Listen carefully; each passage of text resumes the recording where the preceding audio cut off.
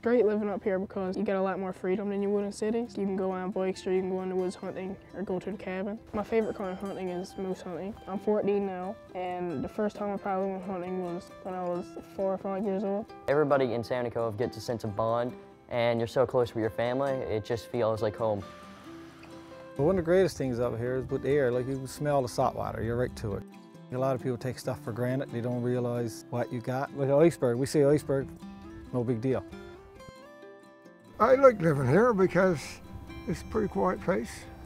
You haven't got to worry about locking your car or, or your door even, you know. So I moved from uh, Fort McMurray, and the thing that I've gained is a lot of trust in other people there's a lot more things you got to worry about back there. Like if you were to go outside or something like that, you have to worry that someone might like take you or something like that. But back here, everyone knows each other, so there's no worry about that. You know, they watch out for each other. Especially me, you know, I got animals running all over the place. You know, they don't seem to say much about it. So we even got calls four o'clock in the morning. And they said, oh, your horses is over by this person's house. Or four o'clock in the morning, they had, I had to go get up and go bring them back.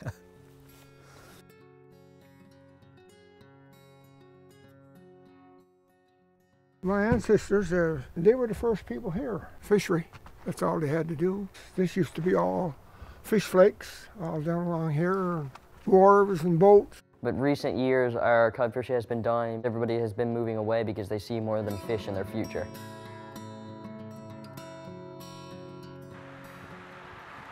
Some stuff that's difficult about living on the Northern Peninsula is you can get like your basic fruits and vegetables. You can get like oranges and apples and that's really it. You can get most of the vegetables though. Well, Flowers Cove doesn't have half as good as healthcare as St. John's because we always gotta go in there. There's not a lot of like stores or like things to do like inside. It's more like you know go on bike or you know whatever like that. Three years ago, I bought the Flowers Island in Flowers Cove there, and I'm going to turn it into some kind of tourist attraction. The Flowers Island used to, is, is a unique island because it's the only lighthouse the actual lighthouse, or, a lighthouse keeper stayed in. I don't know if you can see up there is what they call Yankee Point. Uh, that's the closest point to Labrador, nine miles across there. The Labrador current comes down and it's so cold that it just freezing here all the time.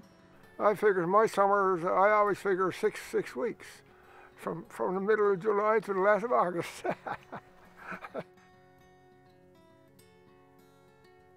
I work at GMP Crafts. I've been sewing for 26, 27 years. I love working with sealskin. They've always wore sealskin. My husband still wears sealskin boots to this day. My great pop hunted seals and so did my pop and then my dad does now. We've been hunting them for over 5,000 years. People who come here and see all this, some of them are so easy to judge us saying that, oh, it's a sin, but they don't know what it's like having to live like it. Like if we didn't have some of the clothing and stuff, like we'd freeze. It's so cold up here. There are about 8 million seals up in the North Atlantic and a lot of those seals pass by the strait. It's a really important local resource for us. It's just a lifestyle, it's part of who we are, is what we do. This is St. Barnabas' church and it was built in 1919. And Canon Richard wanted to build a church so we got the locals to make them sealskin boots.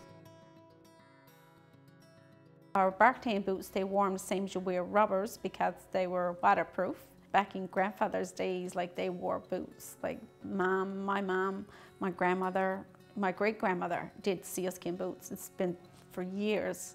My grandmother did boots for Skin Boot Church, and my mother-in-law did boots for Skin Boot Church. They are a source of pride. Everybody that wears them, they're, you're proud to wear them because it states where you're from, and it shows that people in this area like their talents, right?